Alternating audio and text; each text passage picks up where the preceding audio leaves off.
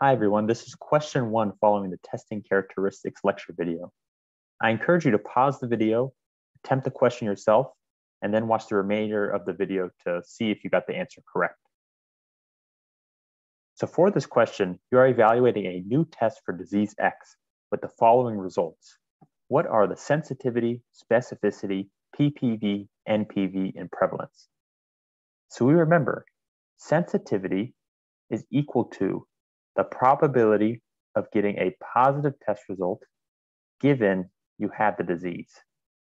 So the probability of getting a positive test result given you have the disease. So in this case, it would be 70 over 80. For specificity, we remember this is the probability of getting a negative test result given you do not have the disease. So the probability of getting a negative test result given you do not have the disease.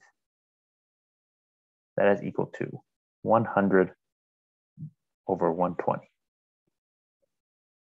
For PPV, we remember this is equal to the probability of having the disease given you had a positive test result.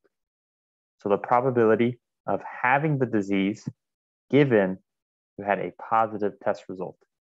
So in this case, it would be, oh, in this case, it would be 70 over 90.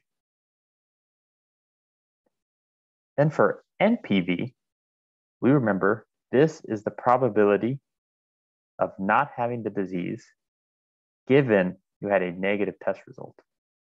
So the probability of not having the disease given you had a negative test result. So this would be 100 over 110. And then lastly, prevalence is equal to number with the disease over total.